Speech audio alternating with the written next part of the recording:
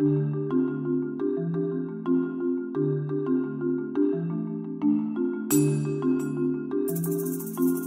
Hirsch is a large nonprofit community mental health center.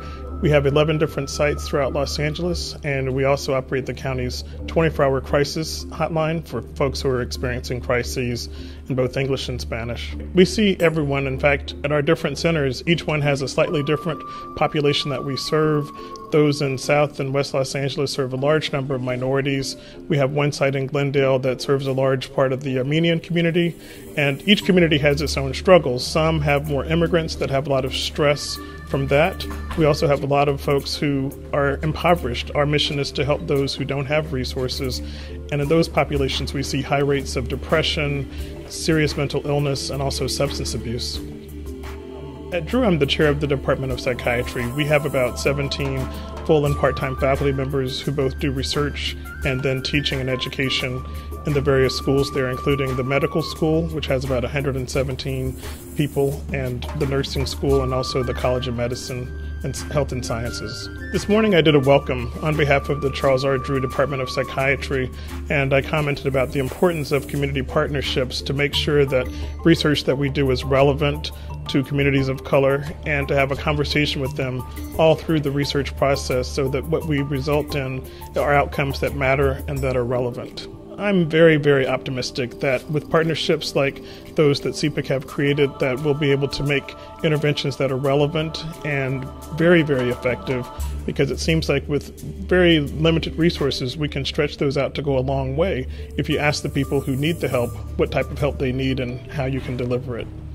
Well, when you see people in the media who've created horrible, heinous acts, often mental health problems come up as a possibility. But the reality is, is that the majority of the mentally ill are not dangerous, and especially if treated. So I believe that the answer shouldn't be so much limiting access to guns because people are always going to have ways that they can hurt people, but to make access to mental health services more available and to have people not feel ashamed or stigmatized to go and get those services. I'm from the other LA. I'm originally from Lower Alabama, and um, honestly, the community that I came from, which is Mobile, Alabama, near Prichard, looks a lot like what we see here in South LA in terms of the complexion of the people there and the resources that they have or don't have. Um, I'm just a passionate advocate for people to get the care that they need and to make sure that they not just get mental health care, but physical health care in an integrated model, which seems to be where we're headed with um, healthcare reform and the Affordable Care Act to really take care of the whole person. Well, there's a lot of unknowns at this point about uh, the Affordable Care Act.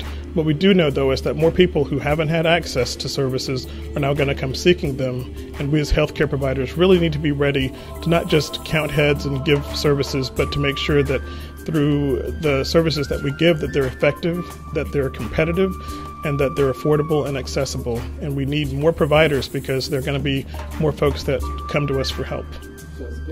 It's a, it's a great thing.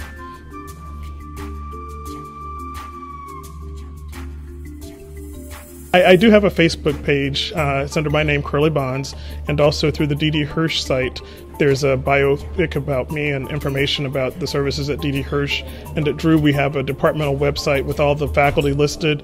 I'm not much of a tweeter, but I am active in communicating through social media, just mainly through Facebook and LinkedIn.